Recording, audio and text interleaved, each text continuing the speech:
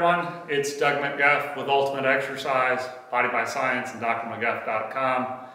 In this installment, I want to read to you the abstract of an article um, that I got off of Mark Sisson's website um, from what he read, uh, his what, what I read this week um, column. So hat tip to Mark Sisson and his team for uncovering this gem. Um, but this article points out to me again what I've expressed to you, um, and that is that context is important when you're evaluating any component of health or metabolism. So um, first off, reading glasses, this is out of um, Cancer Research, volume 82, issue number 22, November 15th of 2022, so fairly hot off the presses. And I'm just going to read the abstract to you now. And the title of it is An Exercise-Induced Metabolic Shield in Distant Organs Blocks Cancer Progression and Metastatic Dissemination. The abstract reads, Exercise prevents cancer incidence and recurrence, yet the underlying mechanism behind this relationship remains mostly unknown. Here, we report that exercise induces the metabolic reprogramming of internal organs that increases nutrient demand and protects against metastatic colonization by limiting nutrient availability to the tumor, generating an exercise-induced metabolic shield. Proteomic and ex vivo metabolic capacity analysis of murine internal organs revealed that exercise induces catabolic processes, glucose uptake, mitochondrial activity, and GLUT, that is glucose transporter expression. Proteomic analysis of routinely active human subject plasma demonstrated increased carbohydrate utilization following exercise. Epidemiologic data from a 20-year prospective study of a large human cohort of initially cancer-free participants revealed that exercise prior to cancer initiation had a modest impact on cancer incidence in low metastatic stages, but significantly reduced the likelihood of highly metastatic cancer. In three models of melanoma in mice, exercise prior to cancer injection significantly protected against metastasis in distant organs. Now here's the part that's really interesting to me. The protective effects of exercise were dependent upon mTOR activity and inhibition of the mTOR pathway with rapamycin treatment ex vivo reversed the exercise-induced metabolic shield. Under limited glucose conditions, active stroma consumes significantly more glucose at the expense of the tumor. Collectively, these data suggest a clash between the metabolic plasticity of cancer and exercise-induced metabolic reprogramming of the stroma, raising an opportunity to block metastasis by challenging the metabolic needs of the tumor. So let's take a minute to soak that all in. First is we all have been bombarded um, in the media and the internet on how overactivation of mTOR accelerates aging.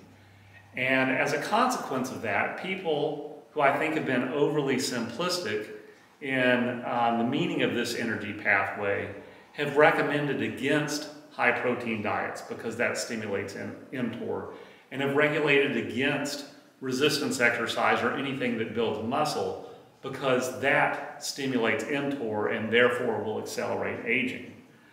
But that assumption um, ignores the context of how the mTOR was activated in the first place. And the two things to keep in mind are, are we talking about an acute increase or a chronic increase? And are we talking about the increase being stimulated from the demand side or the supply side? So I think where mTOR becomes unhealthy um, and its stimulation is unhealthy is when it is chronic in nature and it is coming from the supply side because of an overabundance of calories, too much food. I think where mTOR can be very beneficial is when its spikes are acute, secondary to an acute stressor, and when its stimulation is coming from the demand side, like it is with exercise. So once again, context with regard to mTOR is very, very important. Also, context with medications or supplements that we might take in an attempt to prolong our life or improve our longevity have to also be taken in context. So there are plenty of people in the longevity space that are now taking rapamycin as a means of prolonging their lifespan um, and assumedly prolonging their health span. But what we're finding out here is that rapamycin doesn't have just one effect when it inhibits mTOR. Yes, it inhibits mTOR, but it inhibits mTOR fairly globally, including from the demand side that is acute in nature that has very beneficial effects. Now, when it comes to things that might shorten your longevity and things that kill you as you age, at the very top of that list, uh, just, just behind cardiovascular disease, is cancer. Because as we age, we become more dysregulated and we are all carrying cancer cells inside of our body. And it sounds like much of the way that that is held at bay um, is through depriving those nascent um, cancer cells of their energy. And the major way of doing that is through meaningful exercise that stimulates mTOR and creates a glucose sink that deprives the, these cancer cells of the energy that they need to metastasize. So once again, I just want people to start thinking more deeply because all of these um, biological process and feedback loops that occur within the body are extraordinarily complex and it is the height of conceit to think that you can control it and manipulate it necessarily. Um, this is also true in the realm of performance enhancing drugs. I always see people saying, yeah, if you're going to use them, that's great, but just, you know, get your blood work done and monitor things. I mean, to think that you can monitor simple blood markers that um, represent certain key steps in a very complex feedback loop and feel like you're in, in that you're in control of the situation and that you can do this in a way that's not going to adversely affect your health is just the height of conceit. These metabolic pathways are extremely complex um, and you can't oversimplify them. Um, so next time you hear someone tell you that uh, you shouldn't be you know, eating a gram per pound body weight of protein or you shouldn't be working out in the gym because that stimulates mTOR and it's going to shorten your lifespan, bring this article up to them because everything has a context.